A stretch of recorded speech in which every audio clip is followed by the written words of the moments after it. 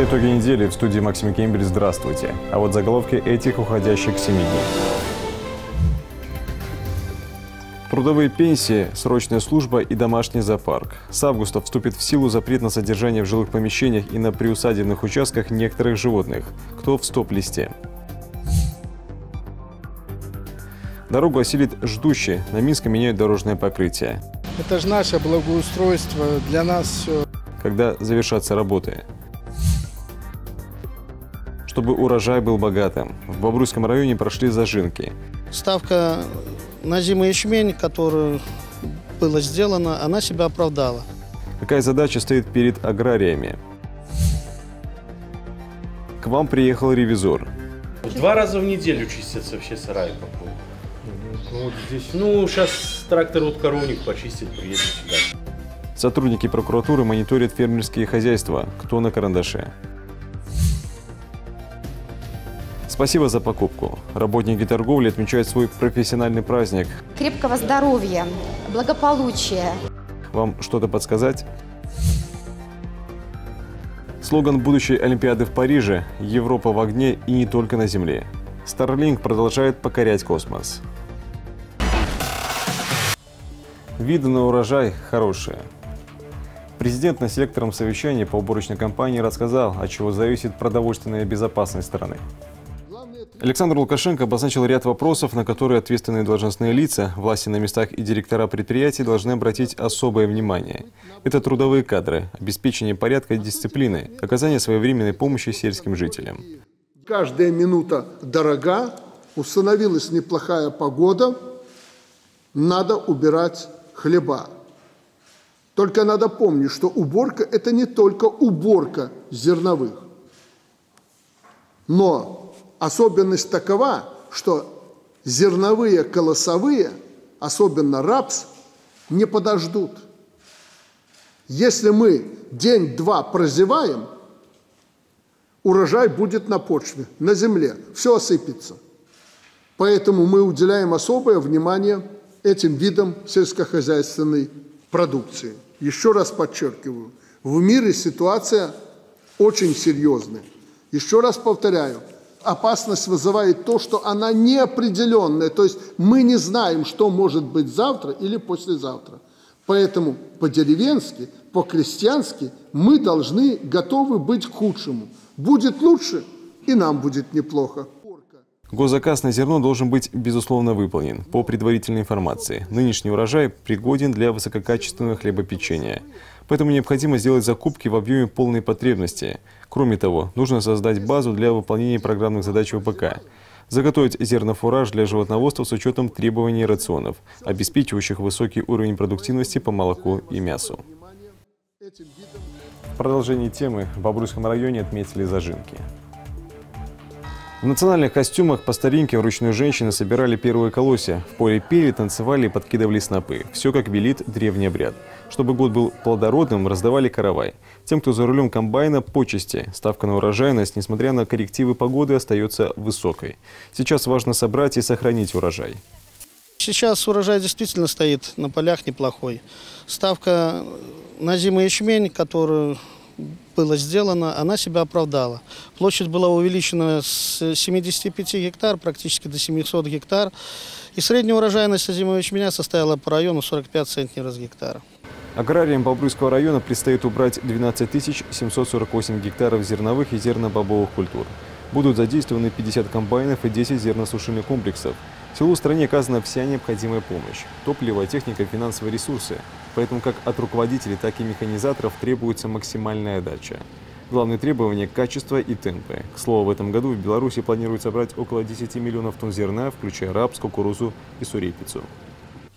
Уйти от ответственности не получится. Прокуратура района пристально следит за молочным производством. Важно обнаружить факты нарушения содержания и гибели животных и не позволить отдельным руководителям хозяйств помешать обеспечению продовольственной безопасности страны. Татьяна Горбач проинспектировала фермы. Животноводческий комплекс Михалевской Нивы – одно из многих крепких хозяйств в регионе. Четыре дойные фермы и три по выращиванию молодняка, более четырех тысяч голов скота, достойные показатели по производству и реализации молока. Но даже сюда приехала прокурорская проверка. Первая остановка – товарная ферма Химы. Старший помощник прокурора и главный ветеринарный врач Бобруйского района проверяют условия содержания коров и телят. Числа здесь механизированные. Здесь трактором. Да. И когда последний раз проводили? Получается, Два раза в неделю чистятся все сараи по кругу. Ну вот здесь Ну, сейчас трактор вот коровник почистит, приедет сюда. Молодняк содержится отдельно. Условия неплохие. Подстилки сухие, телята здоровы, но явно страдают от летающих насекомых. От зоркого ока проверяющих не ускользает ни одна деталь. Есть претензии к санитарии. Стойла в коровнике не убраны. Бросается в глаза высокая занавоженность. Не произведена качественно э, пос- подстил и чистка. За счет этого мы можем получить такие заболевания, как маститы у коров, либо какие-нибудь респираторные заболевания у животных. Вот. В связи с этим может возникать э, потеря продуктивного поголовья, Обеспечение животных качественными кормами на особом контроле. В этом году в хозяйстве заготовлено 17,5 тысяч тонн сенажа со злаково-бобовых трав, 16 центнеров кормовых единиц на условную голову, при задании 13. Буренки точно будут сыты, но вот с хранением смеси есть небольшие проблемы. того, чтобы не, не повредили животные, либо кто посторонние пленку. Нужно огородить их же тоже, да? Следующий пункт проверки – молочно-товарная ферма «Слобода». Сытые ухоженные коровы. Любо-дорого посмотреть. А вот бытовое помещение для рабочих явно подкачало. Света нет, воды нет, душ не работает. Отсыревшие стены покрыты плесенью. Проблемы и с кадрами, которые как бы не хватает немножко. Ну, и тоже финансовые есть вопросы. Не всегда все успеваем в этом плане. Ну, как бы не, не то чтобы успеваем, а это все нужно и где-то купить, где-то что-то поремонтировать. В принципе, ну, как бы движемся в хорошем направлении. Исправляем, если есть какие-то нюансы. И стараемся их не допускать. Прокуратура района на постоянной основе проводит рейды в сфере АПК. Проверка Михалевской Нивы плановая. Цель не наказать, а указать на недочеты в работе и, главное, устранить их. Проверили условия содержания, э, обеспеченность кормами, кормление крупного рогатого скота, э, молодняка крупного рогатого скота. По результатам проверки э, были установлены определенные нарушения ветеринарно-санитарных правил при содержании. Э, По результатам проверки будут э, приняты меры прокурорского реагирования, направленные на устранение э, выявленных нарушений. В истекшем периоде м, 2022 года прокуратурой Бобруйского района возбуждено 6 уголовных дел по фактам сокрытия падежа крупного рогатого скота под видом его прирезки. В настоящее время по этим уголовным делам проводится предварительное расследование. Содержание скота в сельхозпредприятиях на жестком контроле Могилевского облисполкома. Агропромышленный комплекс имеет четкую стратегию, которая позволит увеличить стадо и объемы животноводческой продукции. Продовольственная безопасность превыше всего. Татьяна Горбач, Станислав Чечерин. Итоги недели. Прожиточный минимум, детское пособие и новый призыв. В августе белорусов ждет ряд изменений, кто получит надбавку. Громкие итоги недели далее в специальном обзоре. С августа увеличится пособие на детей до трех лет. На первого ребенка заплатят 556 рублей 5 копеек, на второго и последующих 635,48. На ребенка-инвалида почти 715. Суммы будут актуальными до 31 января 2023 Всего поддержку получают более 238,5 тысяч малышей. В вузах продолжается подача документов, но только на платное отделение. Попытать счастье можно до 8 августа включительно. Что касается зачисления, то в большинстве учреждений на бюджет принимают до 4 числа, на оплачиваемую форму до 10. Тем временем открыты двери и в СУЗах. Выпускникам, которые никуда не поступили, у кого нет уважительных причин, придется примерить сапоги и камуфляж. Указ распространяется на парней старше 18 лет, не имеющих права на отсрочку. Призовут их на срочную службу или в резерв в августе-ноябре 2022 В стране повысятся трудовые пенсии. Это касается всех видов по возрасту, за выслугу лет, по инвалидности, по случаю потери кормильца. Сумма увеличится на 10%. В целом на выплаты в этом году запланировано около 16 миллиардов рублей. Изменится и бюджет прожиточного минимума. Вырастет до 328 рублей 50 копеек. С августа вступит в силу запрет на содержание в жилых помещениях и на приусадебных участках некоторых животных. В списке королевская кобра, питоны длиной более 4 метров, все виды морских черепах, семейство медвежьих, шимпанзе и журавлей, а также лев, тигр и пума, плюс росомаха и африканский страус. Впереди ремонтные работы. В Обручане не могли не заметить реновации на Минской. С утра до вечера там трудится дорожный десант. В планах заменить асфальтобетонное покрытие, благоустроить пешеходные и велодорожки. Правда, передвигаться по основной магистрали города стало непросто. Все чаще там возникают пробки. Мария Береснич узнала, в какую копейку обойдется апгрейд. Глядя на эти кадры, невольным делом вспоминается столица. Пробки там явление привычное, но для Бобруйска затор скорее исключение, нежели правило. Всему виной ремонт главной магистрали. Дорожники трудятся на отрезке от Орджоникидзе до Гагарина. К работе приступают так, чтобы не создавать проблемы в утренний час пик. А вот с вечерним дела обстоят куда труднее. И если автомобилисты на реновацию смотрят с оптимизмом, то не все пассажиры общественного транспорта проявляют понимание. Дольше время ожидания, плюс приходится немного прогуляться. Там, где троллейбус не может может идти своим ходом, его перевозит машина техпомощи. В связи с ремонтом дорожного покрытия по улице Минской в работе троллейбусов могут быть срывы в расписании. Мы просим относиться с пониманием к данной ситуации. И если пассажиру пришлось вынужденно выйти из салона троллейбуса, он может воспользоваться тем же талончиком, на другом троллейбусе. В проект входит фрезерование верхнего слоя и укладка асфальтобетона. Генеральный подрядчик ДСУ-16. Бобруйская организация не раз выигрывала тендеры на ремонт городских улиц, участвовала и в реконструкции ключевых республиканских магистралей, в том числе и М5. На Минской дорожники применяют материал на основе специального битума и целлюлозы, что делает покрытие более устойчивым к колебаниям температуры и внешним воздействиям. Новое полотно должно прослужить не меньше 10 лет. Стоимость проекта – миллион шестьсот пять тысяч рублей. Задействованы здесь порядка 30 человек, не считая тех, кто трудится на асфальтобетонном заводе. Работы завершатся до 15 августа. На этом участке три асфальтоукладчика идут для того, чтобы сразу закрыть половину дороги на всю ширину, 5 катков, ну и сопутствующая техника. Это водовозки, это фреза, фреза большая, фрезы маленькие, значит, гудронатор, дорожные рабочие, которые работают на устройстве тротуара, дорожные рабочие, которые идут э, устройство асфальтобетонного покрытия. Вскоре обновится и пешеходная дорожка от Чехова до Джаникидзе. Вместо асфальта на протяжении квартала положат мелкоштучную бетонную плитку. Поэтому временное неудобство, помимо водителей и пассажиров, испытывают еще и велосипедисты и пешеходы. И мнения здесь разделились. Я вчера ехал, та же такая ситуация по той стороне была. А сегодня еду, теперь по этой стороне. Ну что сделаешь? Ну, это все надо. Это же наше благоустройство, для нас все. Ничего, остановочку пройдем, там ждут, говорят, пересядете на троллейбус, поедете. Вообще неудобно. Я ждала минут 30, наверное, троллейбуса на шестом микрорайоне. И потом меня высадили только на РТИ. Очень все слаженно, очень все красиво, очень все четко. Я видела неделю назад там. Ремонтировали тоже очень быстро, очень четко. Минская транзитная магистраль. Улица, переходящая в шоссе. Работы ведутся за счет республиканского фонда. Апгрейд здесь начался еще в 2020-м. Самое сложное уже позади. За два года отремонтированы три из пяти километров. На пересечении с Октябрьской появилась дополнительная полоса для поворота направо. На оживленных перекрестках островки безопасности и специально выделенные велодорожки. А на пешеходных переходах тактильная плитка и заниженные бордюры. Буквально на глазах преображаются и другие городские артерии. В этом дорожном сезоне готово 150 тысяч квадратов асфальтового покрытия. Ровно столько же сделано за весь прошлый год. Гагарина. Сделана улица Ульяновская. Практически доделана, только тротуарную дорожку там нужно сделать. В работе сейчас находится улица Орджоникидзе от ЖД переезда возле Горгаза до улицы Оранжерейны. То есть тоже буквально на этой неделе мы заканчиваем.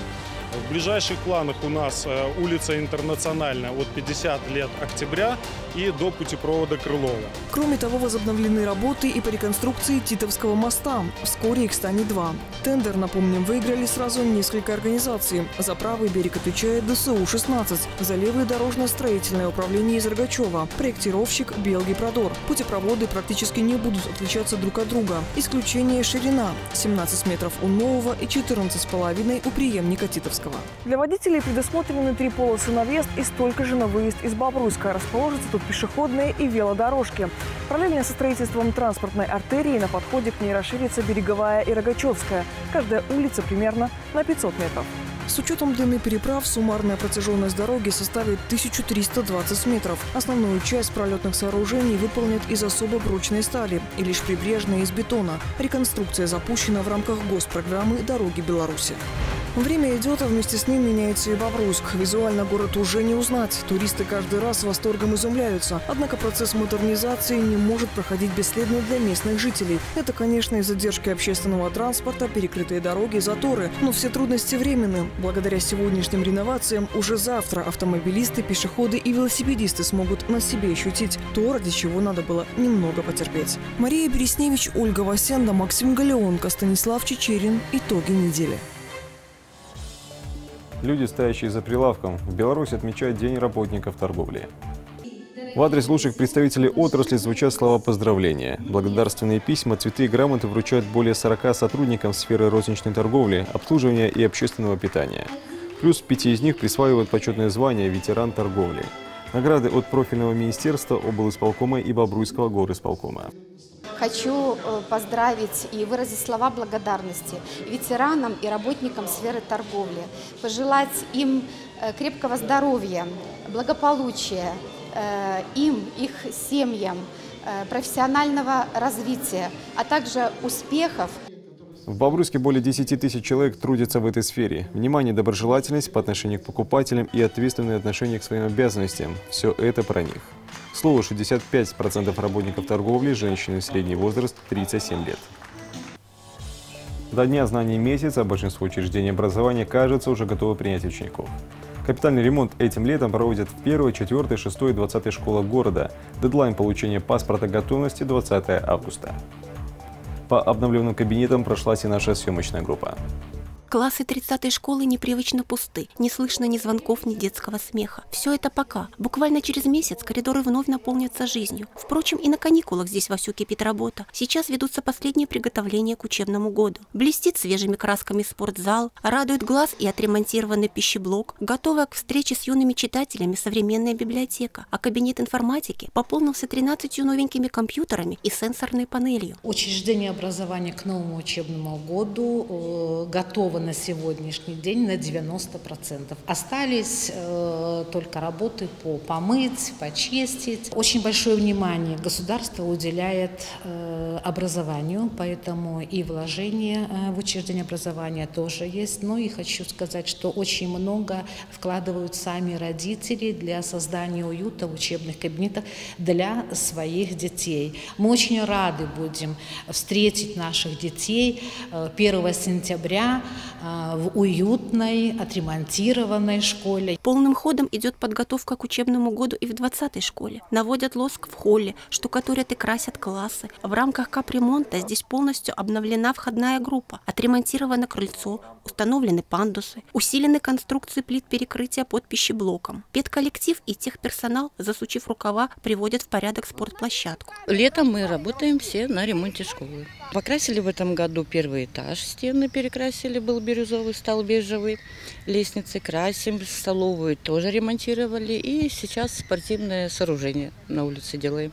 Готова к встрече с учениками и 28-я школа. Ребята смогут проявить свою фантазию и творческие способности в отремонтированном лего-классе. Малышей ждут по-домашнему уютные группы продленного дня. В интерьере только яркие краски и натуральные материалы. Не обошли стороной тут и спортзал. Закупили инвентарь. Заменили 14 окон. Помог попечительский совет. Привели в порядок санузлы. Привезли новую мебель. Уже выгружают. В настоящее время учреждение уже практически на 100% готово для того, чтобы встретить своих детей. Пользуясь случаем, хотим поблагодарить своих родителей членов попечительского совета за оказанную помощь в подготовке к новому учебному году. Территория школы охвачена видеонаблюдением. 9 камер по периметру и в коридорах. Вход в здание через дежурного. Службу несет департамент охраны. Комфорт, чистота и безопасность. Все, чтобы дети понимали. Их здесь ждут, им рады. А родители были уверены, ребенок в полном порядке. Безопасность на первом месте. За счет бюджетных средств к новому учебному году приобрели и установили новое пожарное оборудование от аккумуляторных батарей до системы оповещения. Во всех учреждениях образования Могилевской области завершаются работы по модернизации и благоустройству. На ремонт будет затрачено около 11 миллионов рублей, как бюджетных средств, так и спонсорской помощи. 17 учебных заведений региона ждет капитальная реновация. Среди них 1, 4, 6 и 20 школы города. Паспорта готовности должны быть получены до 20 августа. Татьяна Горбач, Максим Галеонко. Итоги недели. Спасет ли человечество вакцинация? Почему Олимпийские игры в Париже широко открыты и какой феномен появится в Абу-Даби? Далее обзор громких заголовков мировых новостей. Всемирная организация здравоохранения рекомендует провести целевую вакцинацию тех, кто контактировал с инфицированным оспой обезьян, а также людей, подверженных высокому риску заражения, медработников, сотрудников лабораторий и тех, кто ведет беспорядочную половую жизнь. Вспышку можно погасить, уверен генеральный директор ВОЗ, если страны, общество и каждый человек будут осведомлены, серьезно отнесутся к рискам и примут меры. До начала Олимпийских игр в Париже осталось два года. В эту дату оргкомитет состязаний объявил официальный слоган Олимпиады 2024 – «Широко открытые игры». Подразумевается, что лозунг намекает на равенство между полами и говорит об открытости для новых видов спорта. Впервые будут соревноваться танцоры брейкданса. К слову, продажа билетов откроется в декабре этого года. Организаторы обещают, их стоимость будет начинаться от 24 евро. SpaceX развернула на орбите 53 мини-спутника Starlink. Очередной запуск ракеты-носителя Falcon 9, 33 в этом году, состоялся с космодрома на мысе Канаверал во Флориде. За последние три года американская компания вывела в космос около 3000 интернет-спутников. В мире насчитывается до 400 тысяч пользователей бета-версии системы. Пожары и засуха уничтожают леса и поля в Европе. По меньшей мере 53 очага были зарегистрированы за сутки в Греции. В Евросоюзе стоит жаркая погода, которая может стать причиной новых возгораний. Однако по предварительной версии основная – человеческий фактор. Сотни людей уже эвакуированы из опасных зон. Абу-Даби совместно с японским коллективом художников откроет уникальный мультисенсорный арт-объект. Будущий музей в СМИ уже назвали адресом для бесконечно любопытных. Удовлетворить свою тягу к знаниям и необычным впечатлениям можно будет через два года, когда проект будет полностью завершен. Там расположится огромное иммерсионное пространство площадью в 17 тысяч квадратных метров. Новый музей будет лишен правил, никаких указателей. Посетители должны проложить собственный путь в креативном промежутке. Более того, с экспонатами рекомендуется взаимодействовать. Такими уходящие 7 дней увидели корреспонденты Бобруйск 360 и я, Максим Кемпель. Новая неделя, новые итоги. Увидимся.